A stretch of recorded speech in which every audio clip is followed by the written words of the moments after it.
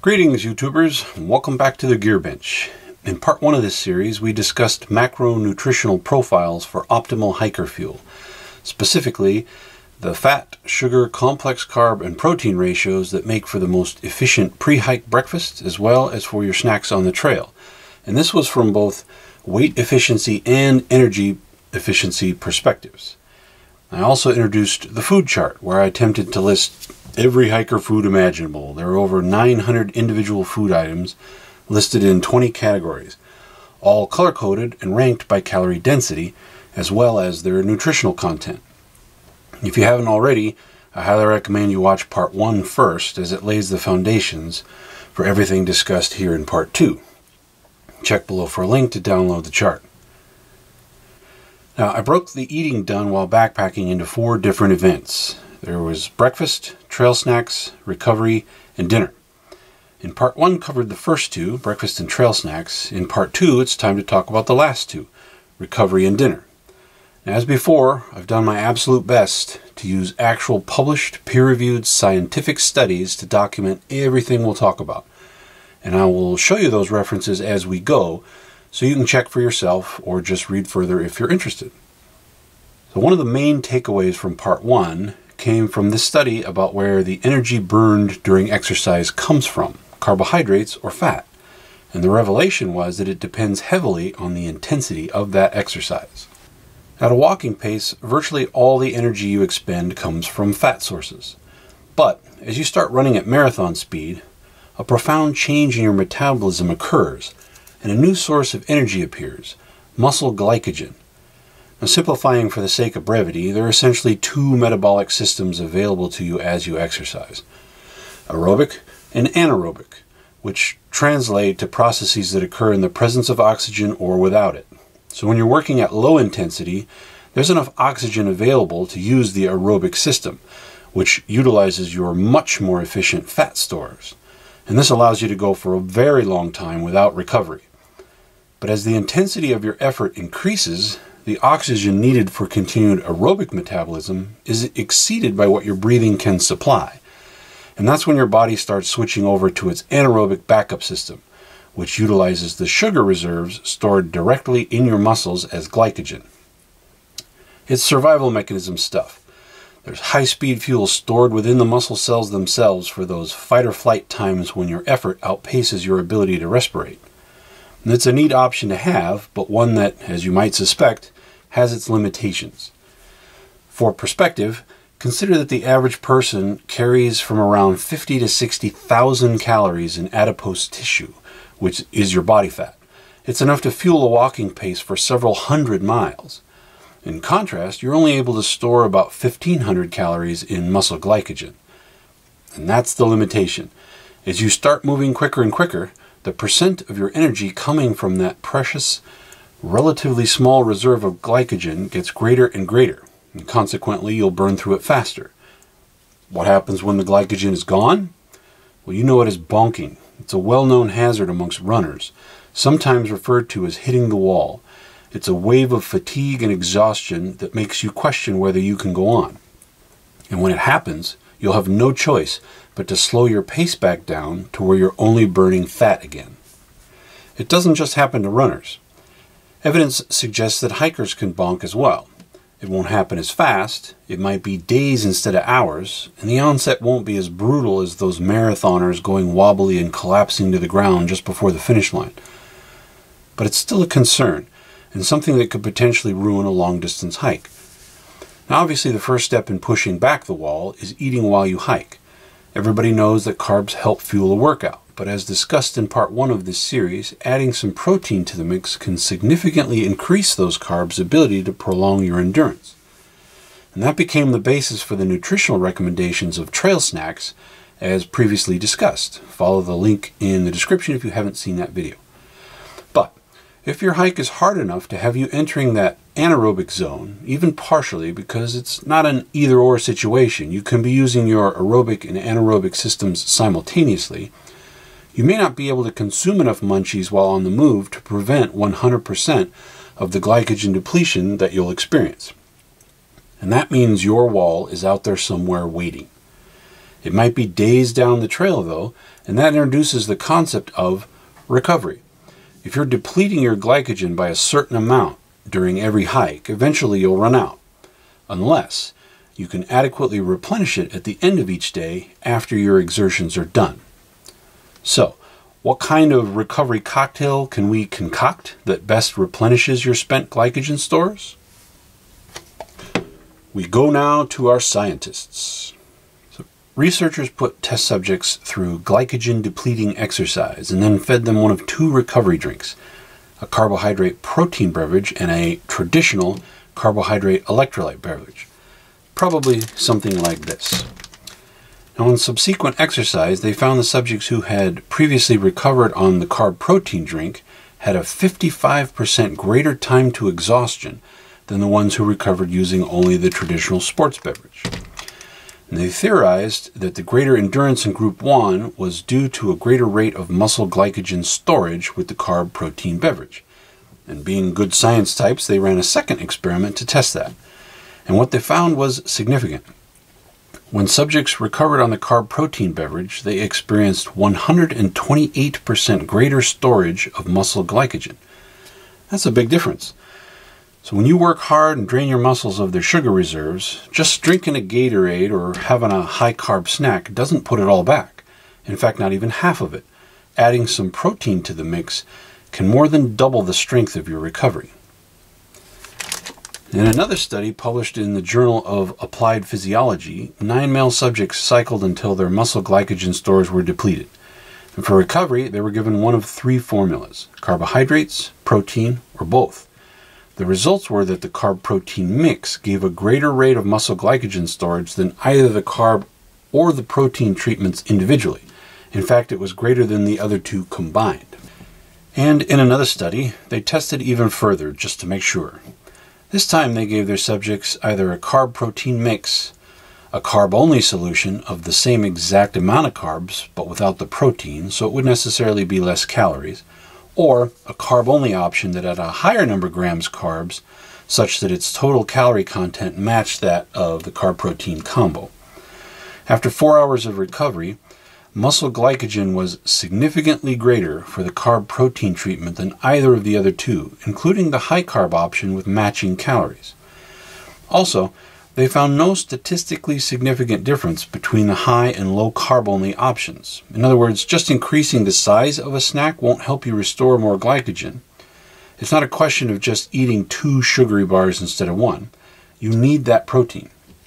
So, what is it about a little protein that helps you put sugar in your muscles? Well, when you exercise, it wakes up all kinds of metabolic processes. And one of these is an increase in insulin sensitivity within your muscle cells. Okay, but what does insulin have to do with glycogen replacement? Well, in a word, everything. Insulin not only activates the enzymes responsible for manufacturing glycogen, it also transports sugar into the muscles where it gets converted. In his article entitled Insulin, the Muscle Recovery Mediator, Dr. Robert Portman describes it as a magic bullet that extends endurance, reduces muscle damage, and builds lean body mass. He calls it the body's ultimate recovery mediator. So, after a workout, when your muscle cells are in a heightened state of insulin sensitivity, they're primed for the replenishment of their glycogen stores. A limiting factor, however, would be the availability of insulin itself. And that's where protein comes in. From the previously discussed studies, ingestion of the carb protein beverage resulted in a 92% greater insulin response than the traditional sports beverage. And this suggests that the post exercise muscle glycogen storage can be enhanced as a result of the interaction of carbohydrate and protein on insulin excretion. Now, obviously, it's the carbs that provide the actual sugar, but it's protein that stimulates the insulin that allows that sugar to be converted into glycogen and stored within the muscles most efficiently. But remember that the period of heightened insulin sensitivity is only temporary, and once you stop working out, all those effects start to fade. If you've ever heard of this so called recovery window, this is what they're talking about the potential for anabolic activity peaks from 15 to 30 minutes after exercise and starts falling off rapidly thereafter. And while the recovery window is still open, consumption of the right combination of carbs and protein can reduce muscle damage, increase muscle glycogen replenishment, and stimulate the repair and rebuilding of muscle protein. But when consumption of nutrition takes place after the recovery window has closed, the benefits are greatly reduced and can even disappear. Right, so now we know that an ideal recovery includes some protein along with all those carbs. But that's still pretty vague. Our goal is to get specific enough with the ingredients to make an actual recipe for an effective drink. First of all, from the various studies, the ratio of carbs to protein should be about 3 eh, or 4 to 1. You'll recall from part 1 that's the same ratio for our optimum trail snacks. It's probably not a coincidence. There will be some key differences, however, in the design of our optimum recovery drink. For trail snacks, we were talking about solid foods, nutrition bars, nut butters, and the like. Also, for both weight efficiency and to match your body's profile of energy use at hiking level intensity, trail snacks should be about two thirds fat calories. On the trail, we wanted highly efficient ultralight calories with long, steady, sustaining potential. But for a recovery drink, time is a factor. We need ingredients that'll get her done before that window closes. Solids take longer to digest than liquids, so power bars are out and drink mixes are in. And fat slows stomach emptying, which delays access to the nutrients in that meal. So when you're in a hurry, fat's a no no. And even with just two ingredients to deal with, that still leaves options. What kind of carbs? Complex carbohydrates or sugars? Well, recalling from part one of our discussion of glycemic index, it would seem to make sense, since we're in a hurry during recovery, to use high glycemic carbs because they're the ones that hit you the fastest. Well, since I'm doing my darndest not to assume anything, I looked around for a study that might address this very issue. It takes me a while, but I did find this one. Researchers put cyclists through an exercise trial to deplete their muscle glycogen and then fed them one of two high carbohydrate diets for the next 24 hours. Those on the diet of high glycemic index carbs had significantly higher muscle glycogen content than those on the low GI diet. All right then, assumption confirmed. A recovery snack isn't a whole grain cookie, it's a sugar shot. Now, what about the protein side of the equation? I approached it from a first principles perspective, and that is to say, what would be the core criteria that we want from a recovery protein? I came up with two full utilization and, of course, fast digesting. Now, as far as full utilization goes, I found a study published in the Journal of Sports Science and Medicine entitled Protein Which is Best? The authors examined various sources and scored them using four different protein quality rankings. And what you can see is that apart from eggs, whey protein came out on top in all four systems. All of the ranking methods have their limitations, however, and it's the protein digestibility corrected amino acid score that has been selected by both the US FDA and the World Health Organization as the preferred best method for measuring protein quality. On that scale, there are five options that scored a perfect 1.0 milk, eggs, casein and whey, which are both milk proteins, and soy. Alright, so utilization ends up being a five way tie for first place. I next looked into the fastest digesting options via research into protein absorption rates. I found this graph at isowaysports.com, which shows whey with the highest absorption rate of any protein in our top five. And it's pretty closely corroborated by an article at newhealthadvisor.org. Unfortunately, neither site properly references their numbers. Now, milk and eggs are whole foods. They don't just contain protein, they've got fats, sugar, cholesterol. Plus, they look to be the slowest digesting options by far. So I focused on the top three, which also happen to be available as lightweight, easy to pack powdered concentrates. But I was still stubbornly looking for qualified scientific references for which one is best. I found this study published in the Journal of the American College of Nutrition on the role of milk versus soy based protein in support of protein synthesis. Researchers found that whey protein is better able to support muscle protein synthesis than is soy protein. And they also stated that whey and casein are the highest quality proteins, though it was acknowledged that they have quite different rates of digestion and absorption. So, lastly, I found this study published in the Proceedings of the National Academy of Sciences regarding slow and fast dietary proteins. They found that not only does whey absorb more quickly than casein, but they also in turn confirmed that quicker is in fact better. The faster whey resulted in a 68% increase in protein synthesis compared to only 31% for the slower casein. So whey is the easy winner. And of all the forms of whey available, isolate is the most concentrated. Now, of course, there are a ton of different whey protein isolates available, and naturally, I had to try to find the fastest one. Optimum Nutrition markets their Platinum Hydro Whey as 100% hydrolyzed whey protein isolate, and they claim that the hydrolyzation process breaks down the larger proteins into smaller pieces, so it digests faster and gets into your system rapidly. Now, it's never not time for a little skepticism, right? So I found a published study on the differences between regular and hydrolyzed whey.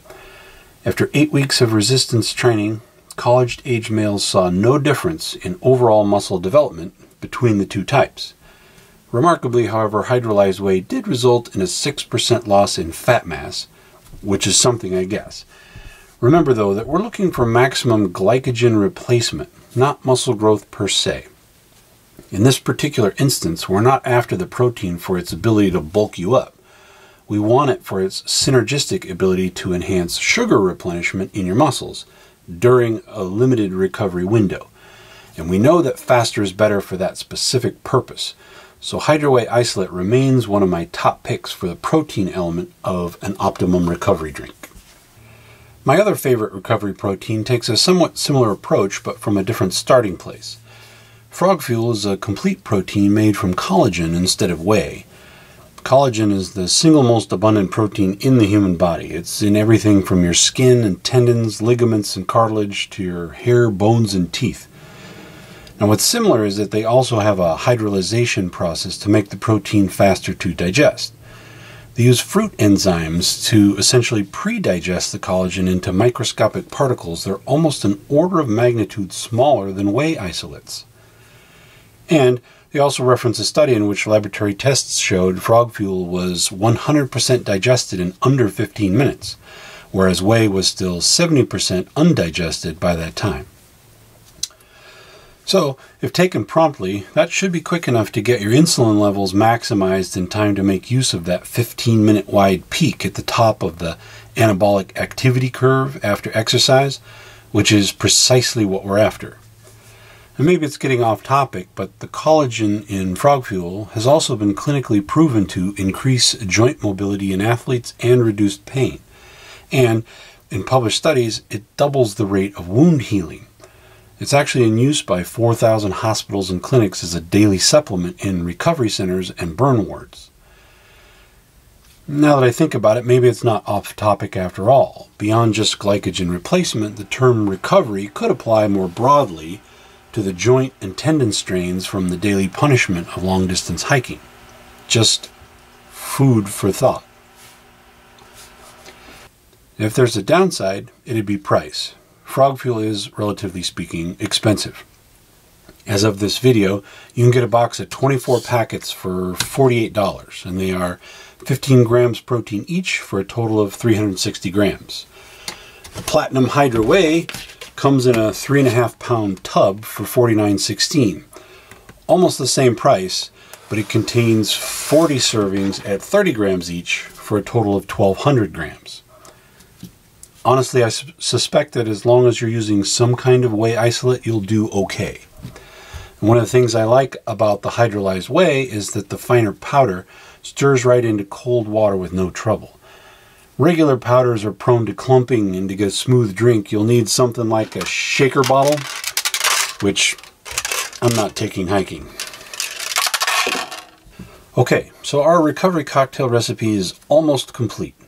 We know we want carbs, specifically in the form of high glycemic sugars, and a fast digesting protein in a ratio between 3 and 4 to 1. There's just one more concept to introduce so we can pick exactly which kinds of sugar to use, because metabolically speaking, not all sugars are the same. Remember, our primary goal with this initial recovery window drink is glycogen replacement. You'll want to eat more in an hour after this has digested, but that's the dinner eating event, which we'll get to soon.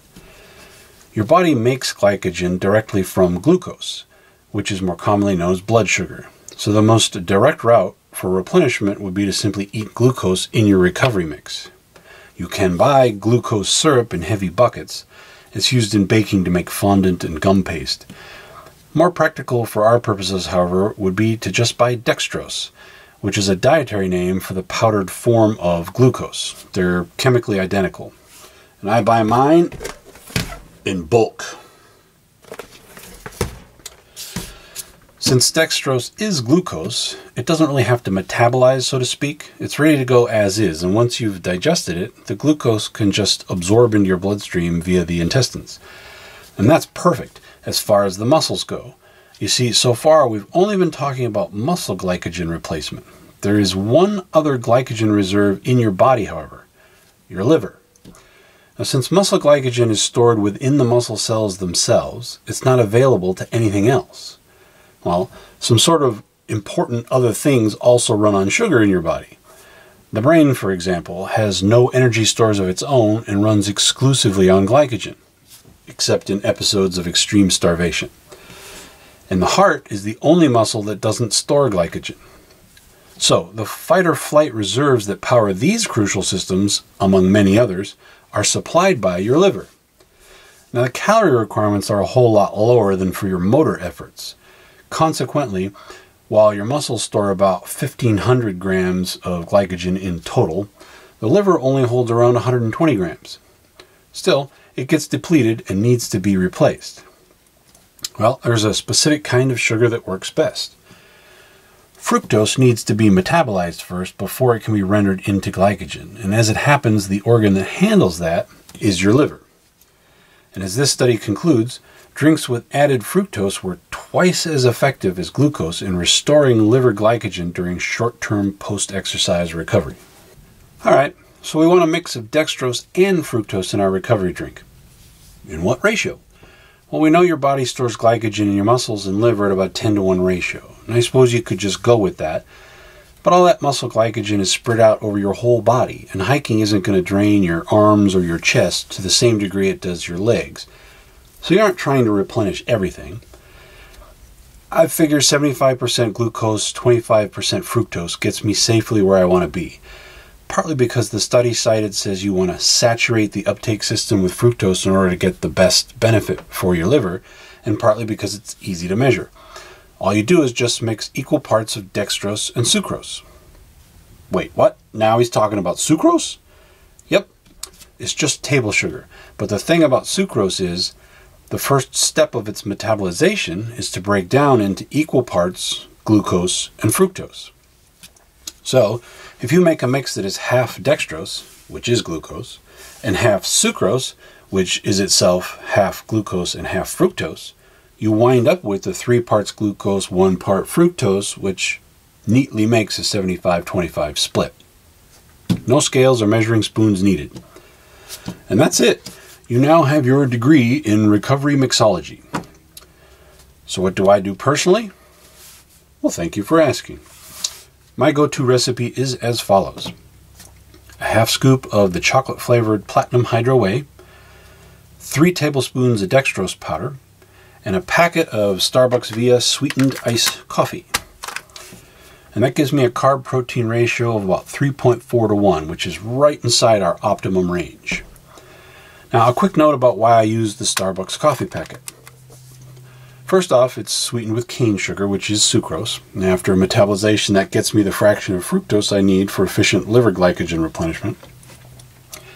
Next, I just like the taste of coffee, and it goes well with a chocolate flavored protein powder. Uh, it makes my recovery drink into kind of a mocha.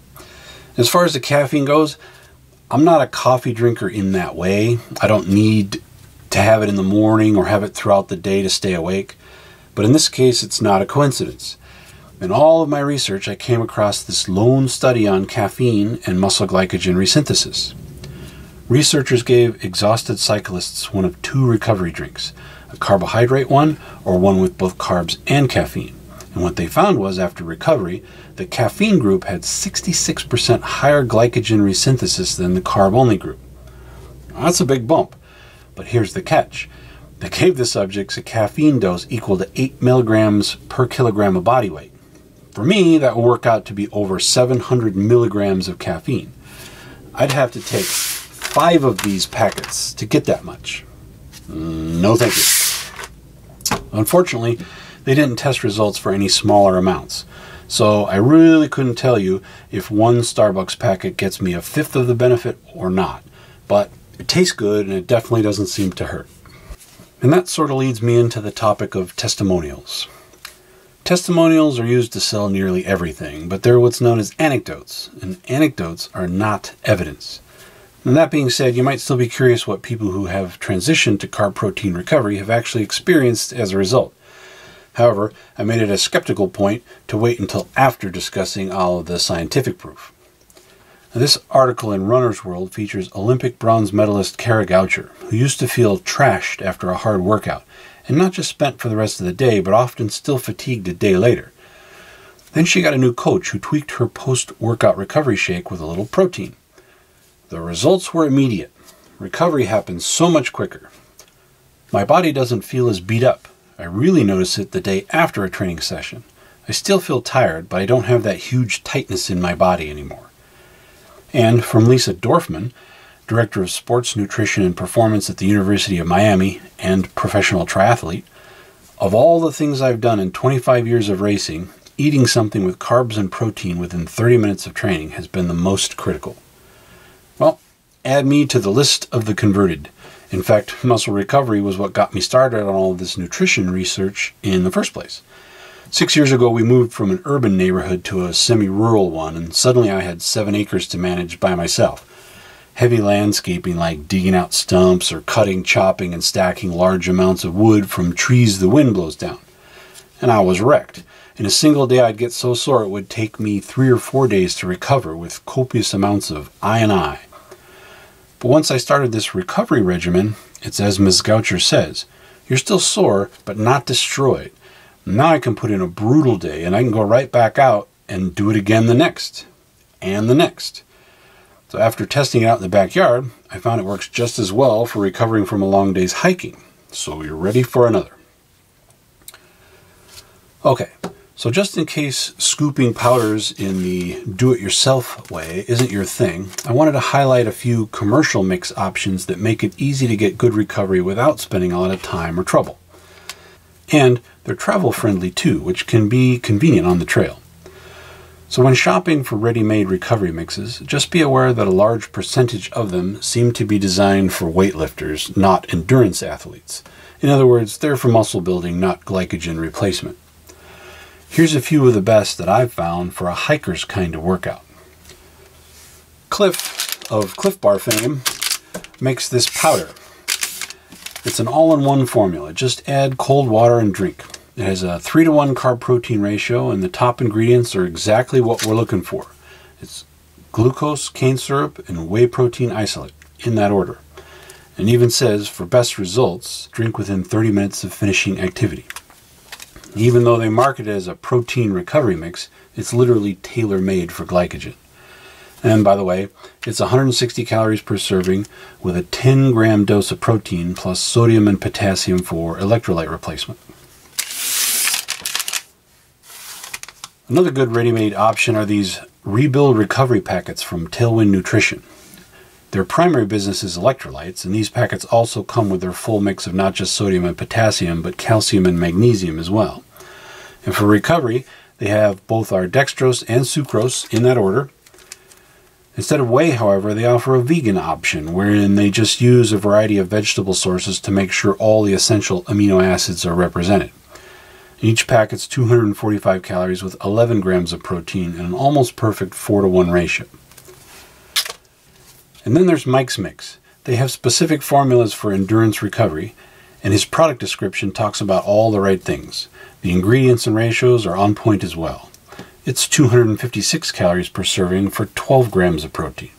Now, I haven't actually tried this one, but after listening to me drone on about this stuff for weeks, Mrs. Gear Skeptic, who's a cardio machine, has tried the Melissa's mix. I'm not sure what's female specific about it, but she likes the taste and has had good recovery results from it. You can order on their website or get it from Amazon. Those are my one step recommendations, but if you're willing to do just a little bit of mix and match, I've got a few more good options for you. Gatorade sells a recovered drink mix, and they just call it a whey protein powder. From the front, you'd never know it was for anything other than muscle building, but flip it over, and the ingredients betray the inclusion of both sugar and dextrose, along with the whey protein concentrate. It's 270 calories with a substantial 20 grams of protein, but the ratio is only two and a quarter to one. It does say in little letters on the back, carbs to help replenish energy stores, but that ratio is low for endurance, being geared more towards strength training. No problem. Just add that Starbucks iced coffee pack. Turn your chocolate shake into a mocha and let the added sugar bring that ratio to an optimum 3.5 to 1, plus another 100 calories and the caffeine, of course.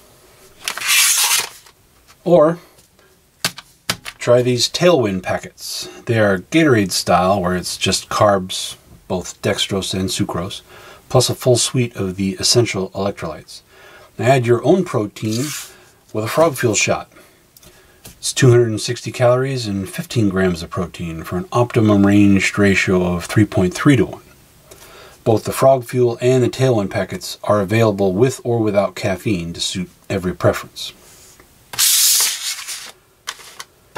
And lastly, there's good old Gatorade with the protein of your choice. You can buy it in bulk and spoon it into your own baggies, or get these packets designed for 20 ounces of water. They're 130 calories, they use the good stuff, sugar and dextrose, and they come with Gatorade's signature electrolyte mix. Add a 12 gram packet of Bulletproof's collagen protein for a 2.8 to 1 ratio, which is maybe a touch below optimum, but this ain't rocket science. Now, I suppose you could use one and a third Gatorade packets. That'd get you a ratio of 3.75 to 1. Depends on how obsessive you are. And one of the things I like to do on a day hike or for the first day out on a multi-day trek is uh, squeeze a frog fuel into one of your standard 32 ounce bottles of Gatorade. Frog fuel has a nice sort of citrusy tart lemon lime flavor that goes almost perfectly with pretty much any flavor of Gatorade they have, although green apple is my favorite.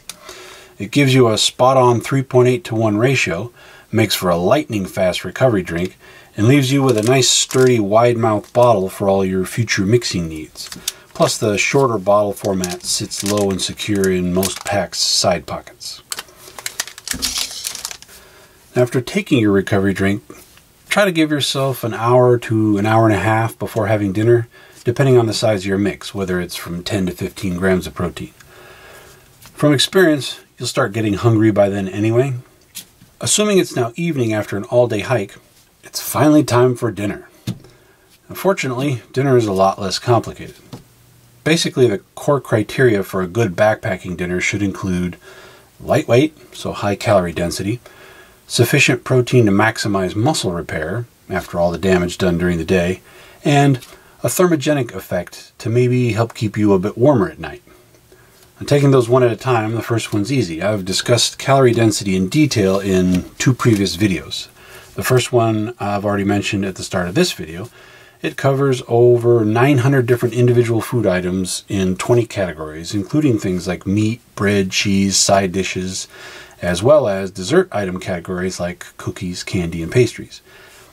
Check the link below to watch that one. Now, my other calorie density video deals exclusively with the popular trail dinner option of freeze-dried meals.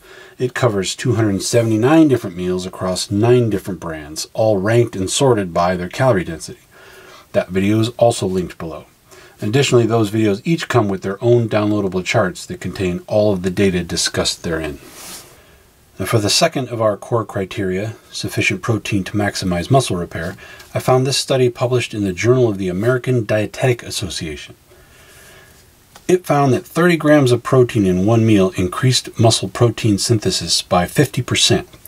It also found that even tripling that amount in one meal produced no further increase in protein synthesis.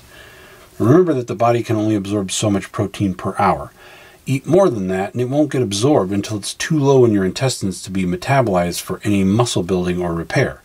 It'll still get used for calories though, but recall that from the calorie density videos that protein is heavy compared to fat. It's probably not a huge deal, but technically to eat more protein than your muscles can use is weight inefficient. From a pounds carried perspective, you'd be better off limiting the protein to just what's useful and making the rest of your calories heavier with more fat. I also found this study published in the American Journal of Clinical Nutrition.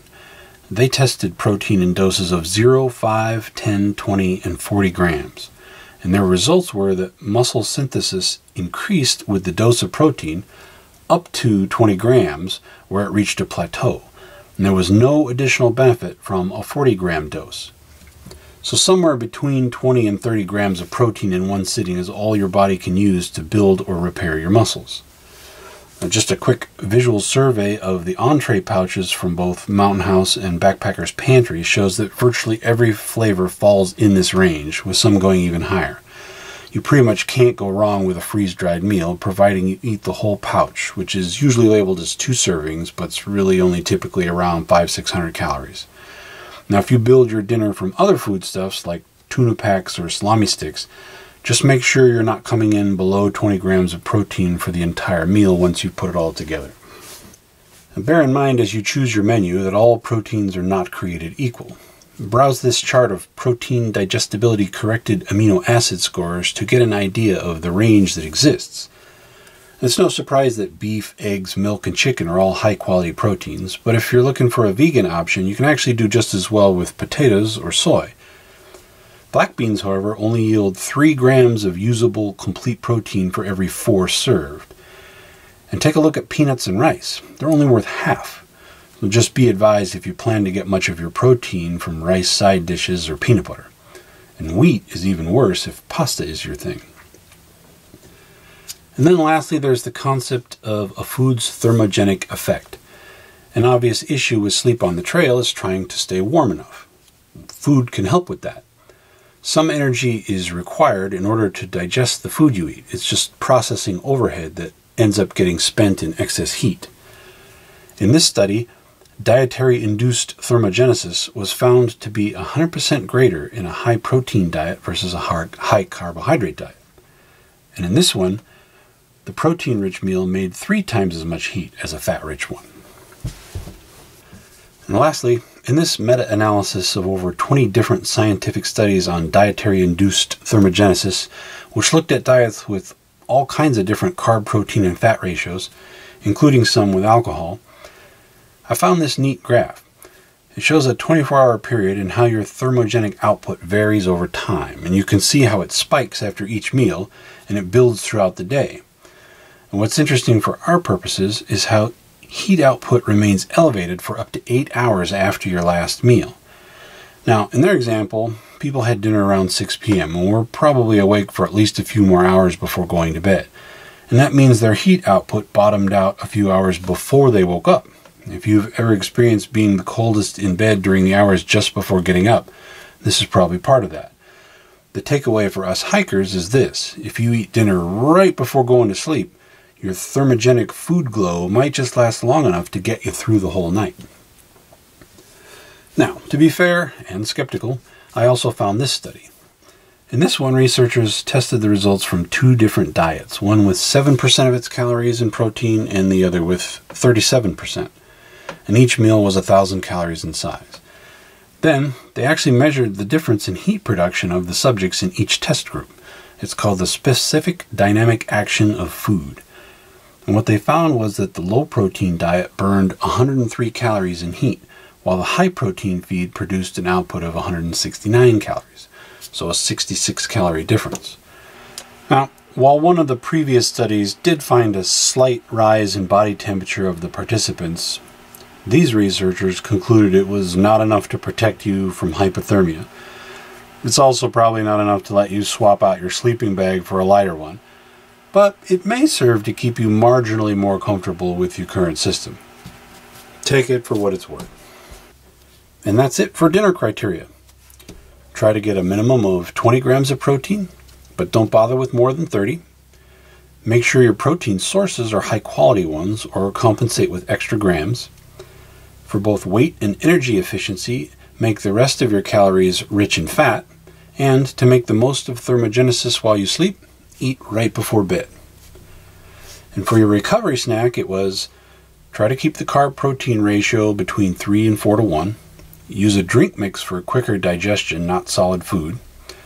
Avoid fat because it slows things down. Make the carbs high glycemic sugars, preferably at least 3 to 1 glucose over fructose. And for protein, use either the fast frog fuel hydrolyzed collagen or a whey isolate. And Make sure to get it down within 15 to 30 minutes after stopping for the day. Do that after the power breakfast and a day of optimized trail fuel as discussed in part 1, and you will have a better hiking experience or your money back. Right. Well, I think we can wrap up this series with just one more episode. We've used almost all of the nutritional information on a standard food label. The only thing we're missing is the sodium and potassium content. So, stay tuned for part three on electrolytes and hydration. And as always, folks, thanks for watching, and I very much appreciate your time.